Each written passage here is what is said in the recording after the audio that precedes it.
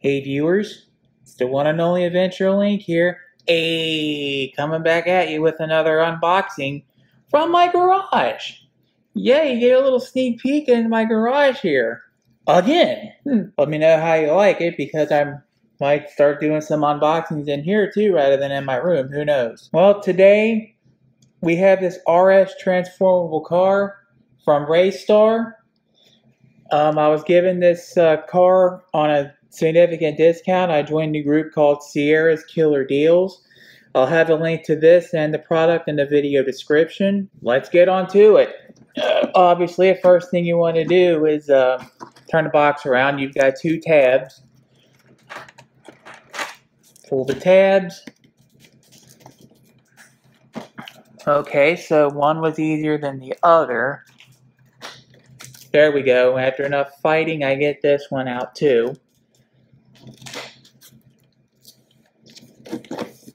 Then we got one. Then we got some tape here that we need to fillet or peel back.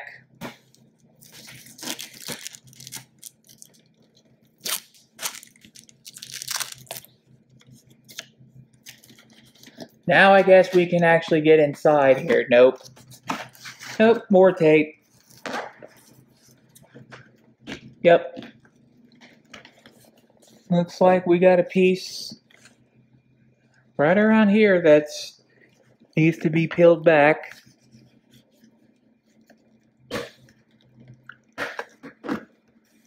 And while I'm untaping both sides here, I just want to say that if will that, that if it will be is or was your birthday, then congratulations and happy birthday. Get out there and make it a good one. I mean, who doesn't like to be wished happy birthday on their birthday, right? There's one side. And we're going to work on this side over here.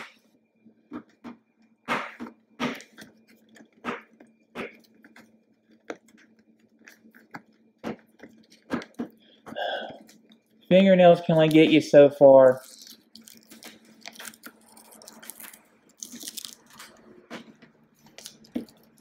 But I think after the struggle, all right, now we're in. Flip that, flip back this part, then you flip back the hinges here, or these other two flaps anyway. Then we're going to turn the box over like so.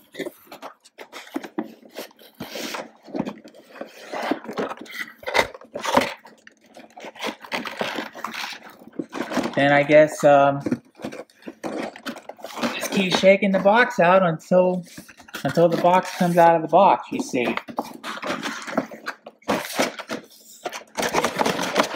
Or we can just keep shaking it up and down like so. That's fine too.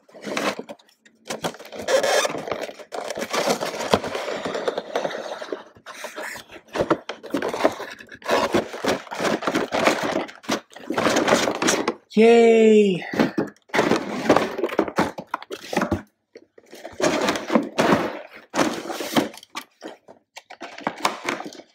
And you just pull pull this up, pull back, there it is. Got your controller here, battery pack, a USB charger here. You can put this end into a USB charger, wall outlet, whatever. And last but not least, we have the grand prize, which is our car. Yay! So that's it for the unboxing. That's what it looks like out of the box. Let's go find some instructions, set this up, and start playing. Okay, this is the front side of the instruction manual. Feel free to pause the video. If you want to read over it better, this is probably about as clear as I'm going to get it just say, no, I still found it in the box. It wasn't in the part that held the RC car in. It was in the outer part, just buried. Backside of the manual, again, pause the video if you want to read over the instructions. This is about as clear as I'm going to get it. Okay, so it's playtime now. This little remote control takes three AAA batteries. There's a battery compartment. You will need like a jeweler screwdriver or something to get inside. Now watch when I turn this on. On off button where my thumb is, by the way. Now it's going to be where my finger is. Pretty cool. Now, we're going to turn the car on. Now, beware because it's going to say something when I power it on. Ready? Go.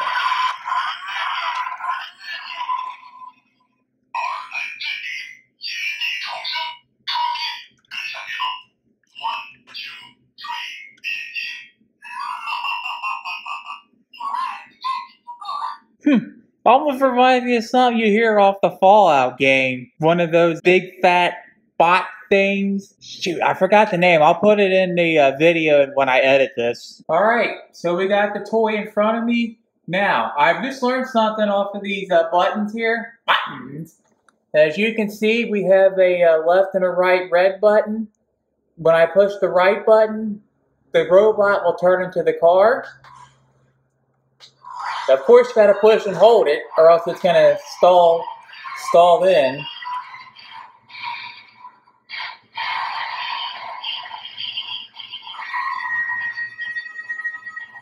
Of course, it's got to play that little sound. And the same deal for the left side, only the left side makes it turn into the robot. And of course, push and hold it to make it turn into, turn fully into the robot. Uh, just as a fair warning, don't push the button in for longer than what you have to, otherwise it'll do this.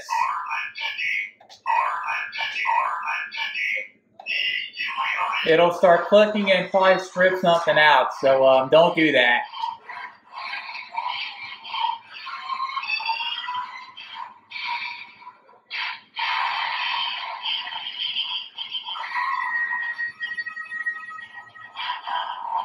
Also, these uh, stick, the left and right sticks, the left stick is up and back, or forwards and backwards.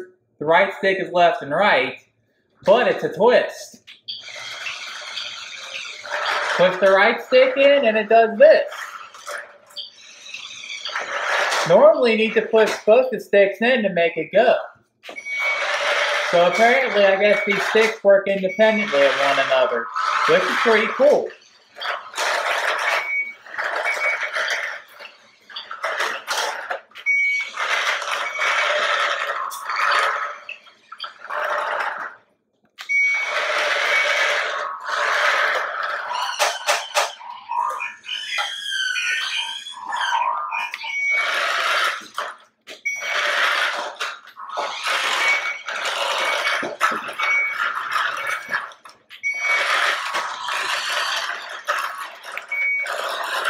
Thank you.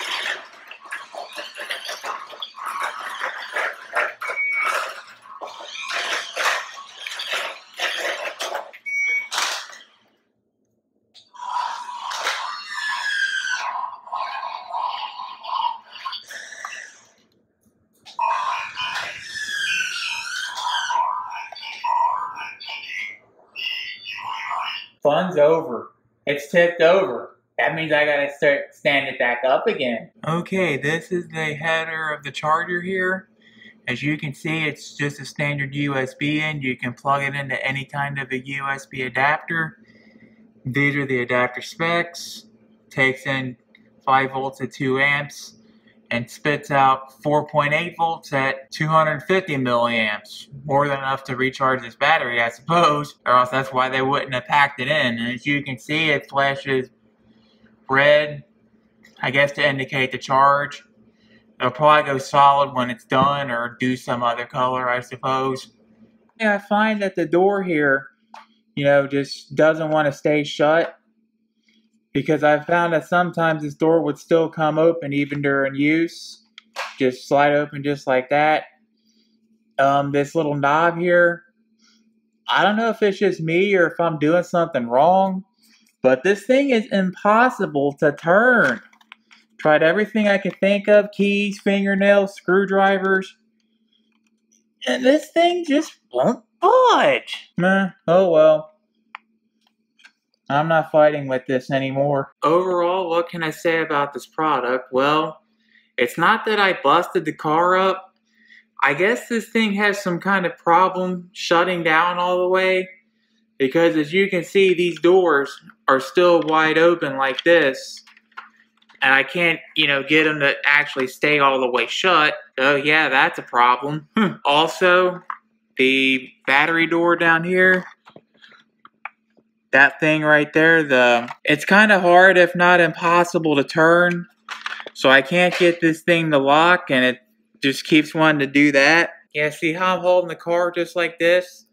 That's the only way this thing's staying down. Unless I, you know, release all the pressure on my hand and it, you know, just comes up long enough to make all the doors and all that stick out again. So, like I said, I'm still not sure what's going on here. But if this is, you know, a build quality thing, you know, build quality and all that, you know, this thing can't even close all the way, you know, that's, and if that could be improved for sure. Also, the little knob down here and why this battery door just won't stay shut. I find that disconnecting and reconnecting the rechargeable battery is kind of a pain. For $43, I'll be honest with you, overall I had fun with the car. In spite of its character defects, shall we say. But, you know, if you're going to be super perfectionist about all these little flaws, you know, I would probably advise just to look elsewhere. I would definitely at least give it a, at least three and a half stars out of five because, like I said, I still had a lot of fun with this. And I want to incorporate this in RC car adventures.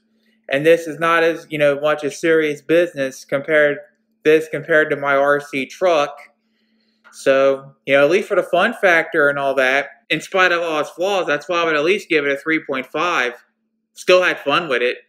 But if you're, you know, looking for perfection right now, eh, probably wouldn't be a good fit overall. I mean, I'm, you know, being honest here, all my opinions and testing, you know, that's all me. I'm not paid to do this. I wasn't, you know, paid to persuade anyone on how good of good or bad of a product this is. All opinions are my own.